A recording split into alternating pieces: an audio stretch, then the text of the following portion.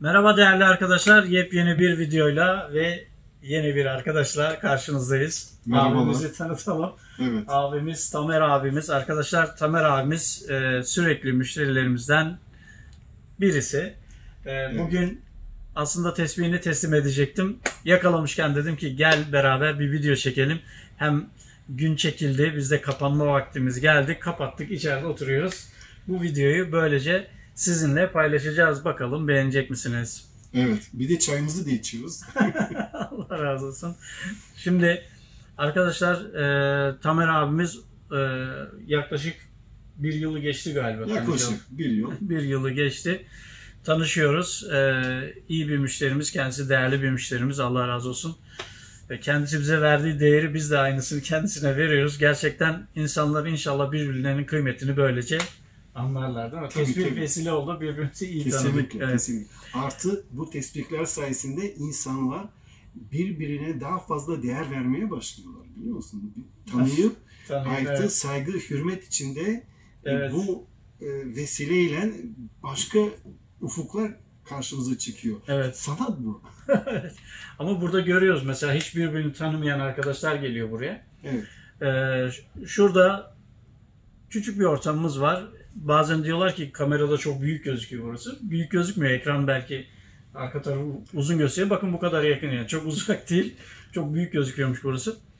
Ee, hiç birbirini tanımayan arkadaşlar gelip burada 40 yıllık e, dostmuş gibi sohbet etmeleri çok hoşuma gidiyor. Çünkü bunu sağlayan şey tesbih ama o tesbih de aynı dil konuşmasına vesile oluyor. Tabii. Aynı duyguları paylaşıyorlar. Aynı şeyleri e, sevdalılar. Bu yüzden gerçekten konuşacak çek şeyleri oluyor.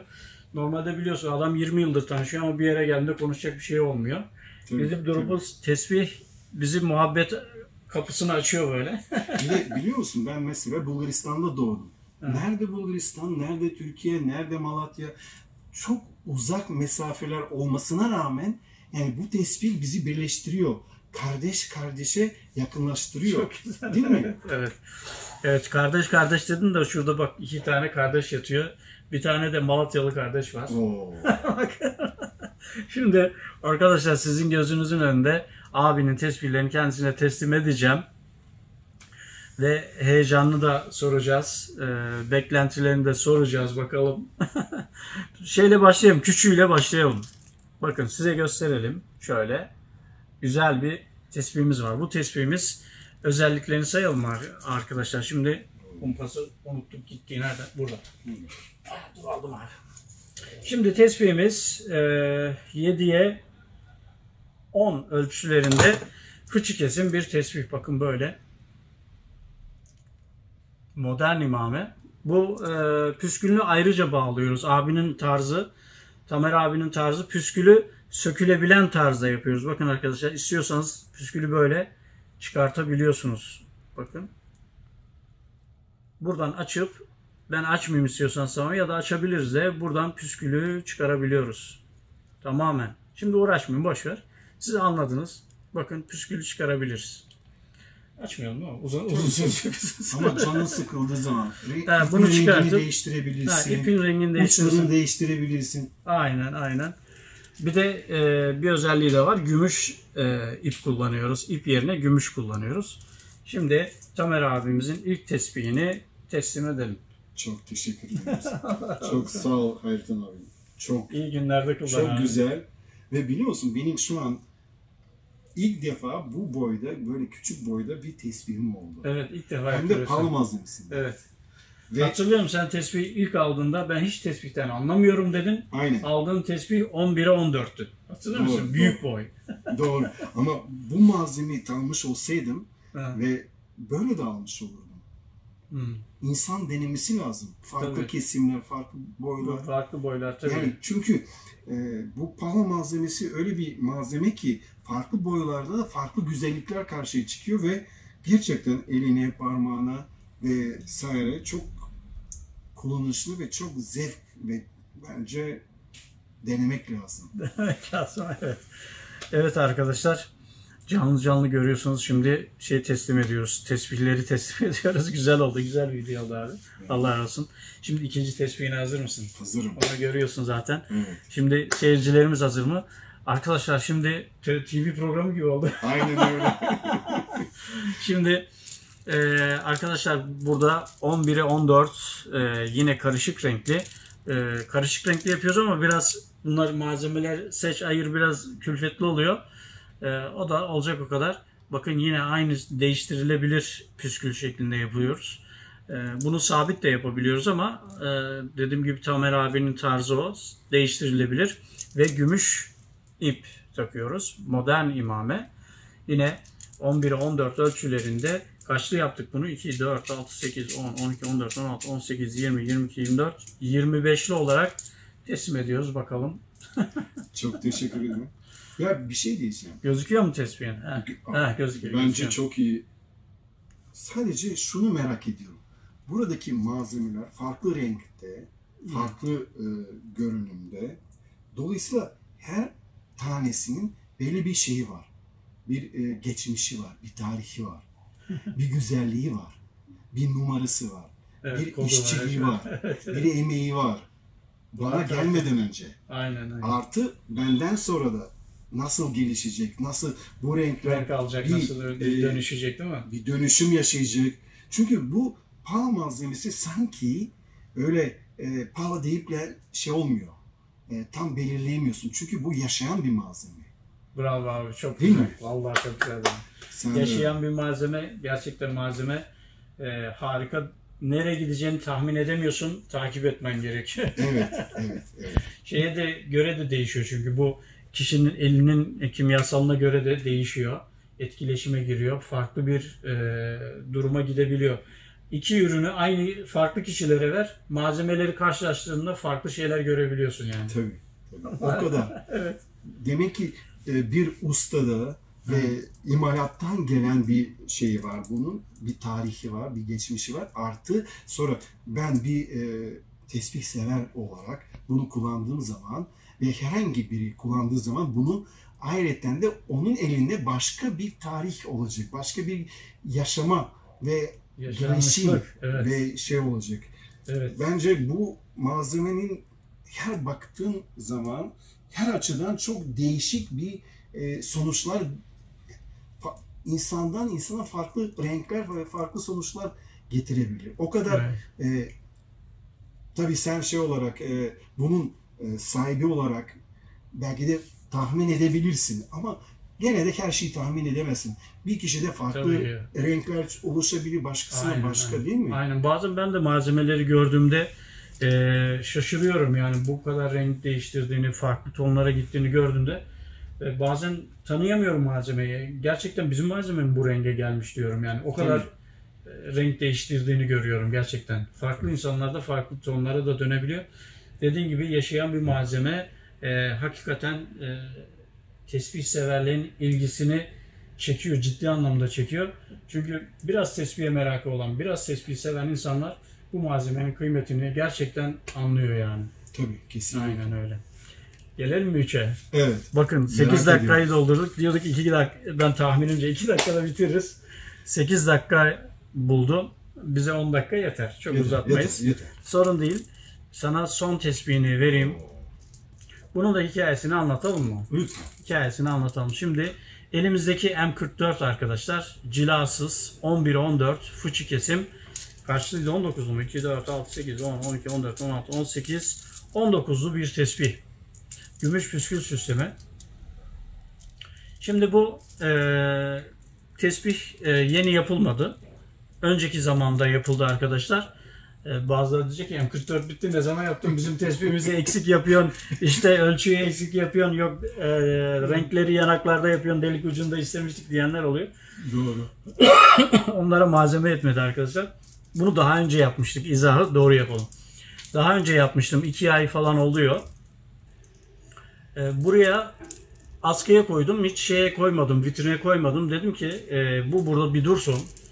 Ee, ben elimdeki tespihi çekerken ona sürekli bakıyorum. Bunu ne zaman elime alayım? Alsam mı, almasam mı? Vitrine koysam mı, koymasam mı? Git gel yaşıyorum sürekli böyle. Ee, tabii bugün hala orada duruyordu. Bugün e, Tamer abimize nasip oldu. Hayırlı olsun. Çok bakın imamenin güzelliğine bakın. Harika. Şimdi abi tesbihini sen kendin çek. İnan o kadar o kadar orada beklettim vitrine koymadım. Yani senin nasibinmiş. Aynen. Buyur abi. Çok teşekkür ederim. abi. Bir şey diyeceğim. Bunun şimdi kodu M44. Doğru mu? M44 Malatya. Malatya'nın 44'ü. Evet. Peki ben şimdi M44 aldım. Evet. Benim bu koddaki ilk tespihim. Değil mi? Ama bunlarda ayrıca de her tanesi farklı kodlar, farklı renkler değil mi? Evet. Aynen. Dolayısıyla ben bir tespih aldığım zaman bir sürü tesbih almış oluyorum. o da başka bir temsilen. Evet. Değil mi? Evet. O da başka bir başka Değil bir mi? bakış açısı. Ama Evet. ayrıca de şimdi fark ettim, biraz önce Hı. bana bunun tanıtımını yaptığın zaman fark ettim ki bu da çok güzel. Tabii. Bambaşka. Evet. Tek renk çekmek de bambaşka bir güzellik. Tabii senin öyle çok tespin de var. Evet. Ve ilk defa e, gümüş e, Püskül uçlu kullan, püsküllü evet. değil mi? Evet. Bunun da tuttuğu zaman bambaşka bir elde duruşu var ve hissiyatı. Tabii. Yani gümüşle tespihi farklı gösterir. Ben çok gümüşlü çekmiyorum aslında. Hı hı. Ee, bunun e, şeyi yoktu. Mesela e, tepeliği yoktu. Ara taneleri yoktu. O yüzden ben de bunu bu tarz süsleme yaptım. Yani açıkçası çok gümüşlü kullanmıyorum ama Evet. farklı bir şeyler denemek lazım yani. Hep aynı olacak diye bir şey yok. Tabii, Öyle değil mi? tabii. Bu da güzel, ayrı bir Bence güzellik. de, bence de. Bir tavsiyede bulunacağım. Şimdi benim gibi çok e, tecrübeli, Zor olmasın abi. benim gibi çok tecrübesi olmayan evet. diyelim ki tespih sever. Evet. Ben şimdi ne yapacağım? Biliyorsun pahalı malzemesi böyle e, sıradan bir malzeme değil. Evet. Yaşayan, çok değerli ve tabii ki maddi olarak da herkes e, birçok farklı model tespih satın alamıyor. Aynen. Dolayısıyla böyle farklı tespih modelleri bo- boyda önerirsen ya sen al bunu dene, bunu dene. İnsan birkaç farklı tespihi çekip Hı. sonunda desin ya ben bu modeli, bu modeli, şu ebatları e, se- e, beğeniyorum, seviyorum ve onlardan almak istiyorum. Ya şu an alamıyorsam, diyelim ki maddi durumdan dolayı, ileride alabilirim. Ama böyle numunelik e, tesbih boyu, ebadı bir şey olursa e, yani insan gelince mesela buraya denesin ne diyorsun? Böyle bir şey olabilir mi? Ya aslında bu e, şey hazırdaki bu tesbihleri göstererek biraz e, işte tesbih boylarını göstererek biraz e, dediğin gibi karşılıyoruz aslında. Ama benim şu mantığım var. Hı hı. E, Kendim de söyleyeyim. Bir insan bir tesbihe alıştıysa diğer tesbihleri çekmesi ya da diğer boylarını çekmekte zorlanabiliyor. Evet. Fakat e, mesela ben fıçı kesim böyle Hı hı. köşeli tesbih çekemezdim. Hı hı. Hala yuvarlak çekemiyorum mesela. Evet. Sadece yuva e, çekmeye ısrar etmediğim için alışamıyorum. Ama ısrar etsem alışıyorum. Mesela ben fıçıyı şimdi müthiş çekiyorum, lezzet alıyorum. Hiçbir şekilde beni rahatsız etmiyor. Hiçbir şekilde. Ama eskiden parmak uçlarım rahatsız ediyordu. Şimdi hiçbir şekilde rahatsız etmiyordu. Bazen diyorum ki bu kesmeyi çekenler nasıl çekiyor? Bir de kesmelerin uçları alınıyor normalden. Uçları alınmadan çekenler var sipsivri. Adam alışıyor yani. Alıştığı zaman hissetmiyor onu. Şimdi benim şöyle bir e, mantığım gelişmiş. E, ben diyorum ki tek boy tesbih çekerek tesbih lezzetli çekebilirsin. Evet. Ama farklı boyların tadına bakmak lazım. Neden? E, çünkü el değiştiği zaman e, diğer tesbihi özlüyorsun. Koleksiyonerliğin başlangıç Tabii. noktası bence burası. Evet. Tamam mı? Bir başka bir tesbih eline aldığında öbür tesbihini özlüyorsun. Anladın mı? Tabii tabii. Çektin bu tespihi diyelim bir hafta iki hafta alışıyorsun bu defa ona. Bunu bıraktığında başka bir tesbih aldığında bu defa bunu özlüyorsun. Evet. Koleksiyonerliğin başlangıç noktası bu diyebilirim arkadaşlar. Böyle böyle yuvarlanıp gidiyor kartopu gibi büyüyor arkadaşlar. Evet. Tabii insanların imkanına, durumuna göre e, bu değişkenlik gösteriyor. E, bu- Teşekkür ederim. Çok güzel bir püf nokta değindin ve benim için bence e, dikkate alacağım. Yani e, gerçekten dikkate almak lazım. E, ben de e, haliyle mesela hala yuvarlak tespihe çok önem vermiyorum. Hı. Vermediğim için hala alışamadım. Belki alsam elime iki hafta oyalansam alışacağım ona. Diyeceğim ki ha yuvarlak tespihim de olsun e, koleksiyona ekleyebileceğim ama ben e, hala gerçekten ona ön yargılı olduğum için yuvarlak Herkes bilir çünkü videolarda her vesileyle söylüyorum. Yuvarlak tespih çekemiyorum arkadaş. Üstüne gitmiyorum. Fıçı da çekemiyordum. Üstüne gittim iş değişti. evet. Şimdi e, en sevdiğim şeyi söyleyeyim sana. Tespihler arasında en sevdiğim düz ağzı yumurta. Zaten o model bizim biliyorsun. En sevdiğim o. E, ama düz ağız yumurta çekiyorsun çekiyorsun sonra bu da aradan biraz zaman geçiyor. Canın öbür tespihi çekiyor. Çünkü onun tadını da biliyorsun. Evet. Bu defa ona geçiyorsun. Böyle tatlar arasında geziyorsun. Açık Doğru. büfe. Benim açımdan daha eee, güzel. Benimki tam bir otel açık büfesi. Bir çeşidim bol burada. Doğru. Çok teşekkür ederim bu güzel tespihler için.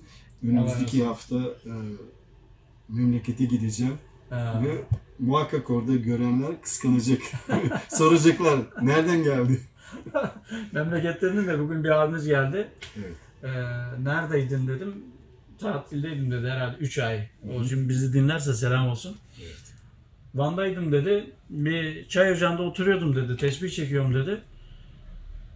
Biri geldi bana öncesini söyleyeyim abim dedi. Ya dedi senin Van'da bile tanıyorlar ya dedi falan böyle.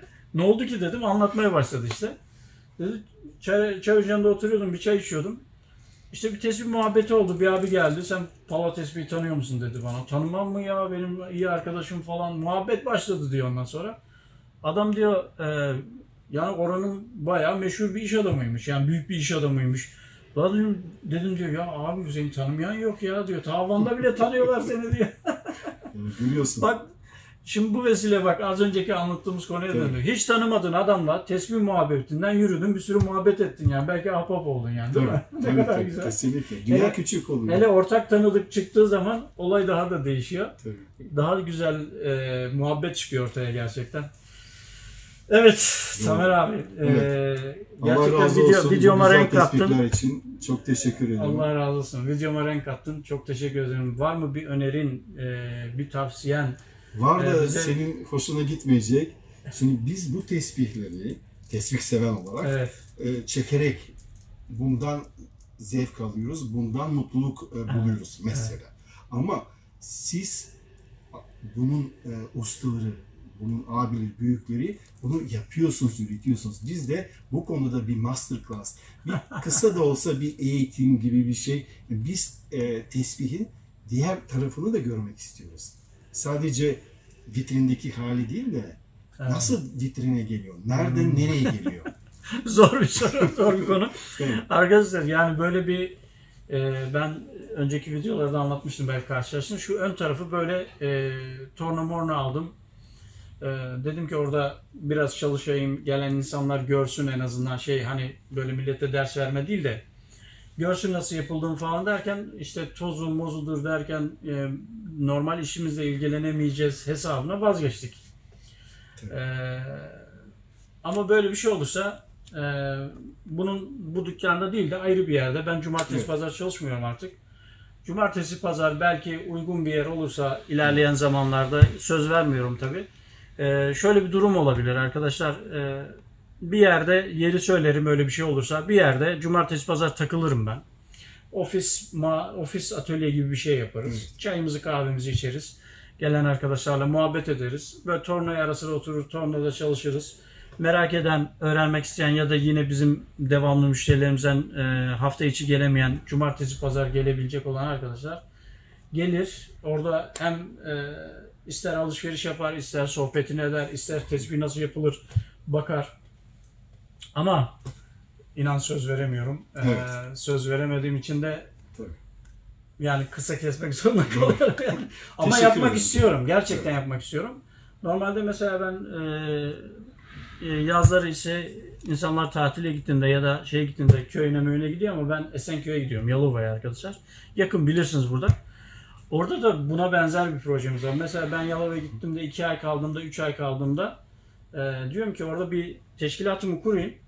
E, işte tespih yapayım, oradaki insanlarla muhabbet edeyim. Mesela bizim e, arkadaşlar, yurt dışından gelen arkadaşlar var. E, ziyaretime gelirler, hem tatillerini yaparlar, denize girerler, yanıma gelirler.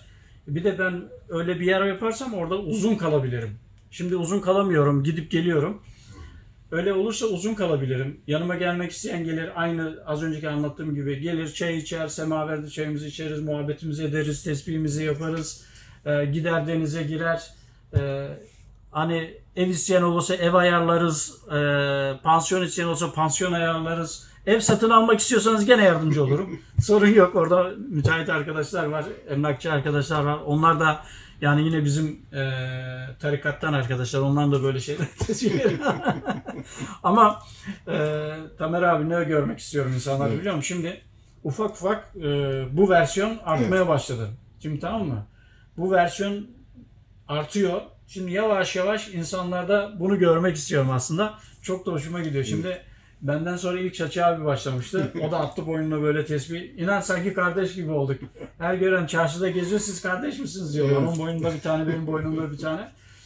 Hacı amcalarla karşılaştık mı namaz tesbihi diyoruz. Tamam. Evet. Başkalarıyla koleksiyonerlerle karşılaştık mı koleksiyon parçası diyoruz. Yani herkese şeyimiz var, lafımız var abi. Evet. Ee, yani hepsi yerine oturuyor, sorun yok. Bizi yadırgayacak insan da yok. Ee, o güzel. Eskiden biliyorsun biri bir şey taktı mı herkes bir şey söylerdi. Şimdi onlar kesilmeye başladı yavaş Evet. yavaş. Biz normalde eskiden boynuna bunu takacağım. Bin kişi laf söylerdi. Biz Erzurumluyuz. Mesela ben gidiyorum. Benim ailem söylüyordu. Alıştırdım hepsini. Bu ne diyorlar? Namaz tesbihim diyorum. Ya çünkü çıkartıyorum namazda çekiyorum. Ne var bunda da? Tabii. Deyince kolay kesiliyor. Ama desem ki ya ben bunu çok sevdiğim için boynuma asıyorum. Bana ya diyecek şey gibi kadın gibi şey yapıyorsunuz. Ama inan artık kimlik gibi oldu bu da. Evet. Bazen de soranlara diyorum ki tabelamı taşıyorum. Ben tesbihçiyim yani. Doğru. çok güzel değil mi? Çok güzel. çok Tabelam güzel. burada. Evet. Demek ki yakında yazlığa gidiyoruz. Yazda yazda gittiğimizde işte e, gerçekten ciddi öyle bir yer bakıyorum.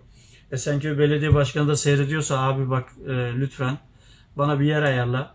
Şöyle küçük bir hani ev olmayacak küçük bir arsa içinde olabilir. Sahile yakın böyle millete şey veriyorsun araba veriyorsun sosis mosis satıyorlar.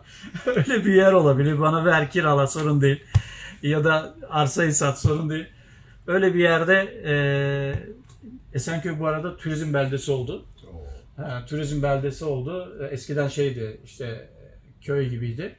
Şimdi artık e, turizm beldesi oldu. Çınarcık'a bağlı.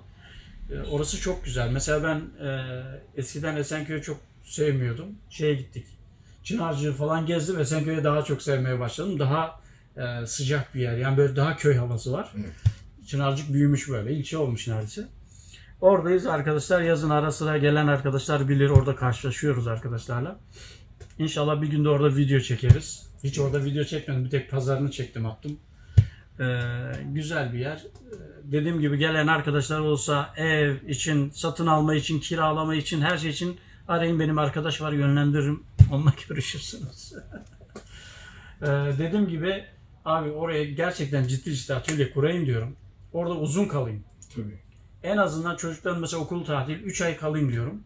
Burası zaten arkadaşımız idare ediyor. Ee, bir sorun yok. Hiçbir sorun yok. Siparişlerde sorun yok. Ustalarda sorun yok. Çalışıyoruz. Sistemimiz kurduk. Sistemimiz devam ediyor. Bizim varlığımıza çok ihtiyaç duymuyor ama yine de arkadaşlar görmek istiyor. İşin o tarafı Evet. var. Evet. Biz de biraz onları zorlaştıralım değil mi? Görmek isteyen gelsin oraya. Tabii tabii. Hayretten de yakın. İstanbul Ya için gelirsin, yakın. ha gelin çayınızı Bursa için, için yemek yakın. yiyelim, çay içelim. Evet. Orada e, kömürde çay yap, şey çay yapıyorsun ama yemek de yapıyorsun Tabii. kömürde. Oo süper Her olur. Tabii. Oo. Ben kömürde bulgur bile yapıyorum abi ya. Hmm. Vallahi bile. O kadar tadı çok farklı oluyor. İnanılmaz farklı oluyor. Yani ocakta yediğin nerede, kömürde yediğin nerede. Ayrı bir lezzet katıyor yemeğe. Çaya. Tabii. Harika. Bekliyoruz. bir şey diyor musun abi başka? Çok teşekkür ederim. Allah razı olsun. Herkese nasip olsun. İnşallah tesbihlerin hayırlı uğurlu olsun e, Tamer abi. Sağ ol. İyi günlerde kullan. Gerçekten güzel tesbihler. Evet. E, dediğin gibi bunun değerini ancak bu aşkı çeken bilir. Tabii. tabii. Çekmeyen de bilsin. Tabii. Bir de Yüce Allah'ımız da dualarımızı duyar. İnşallah, inşallah, inşallah. Arkadaşlar bizi izlediğiniz için teşekkür ediyorum. Tamer abiye tekrar teşekkür ediyorum. Hoşça kalın, sağlıcakla kalın. Esenköy'e gidersem haber veririm. Gelin tamam mı? Hadi hoşça kalın.